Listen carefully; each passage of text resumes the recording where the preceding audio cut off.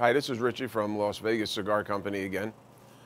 You know, a lot of people are asking uh, what drink should they drink with a cigar? What do I think is the drink that is for uh, when you're smoking?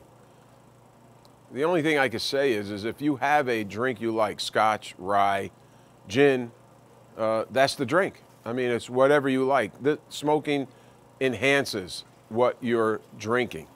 You're going to enjoy the drink and the smoke together, and that's basically all it is. It's whatever you like, and that, that is about smoking cigars. It's what you like.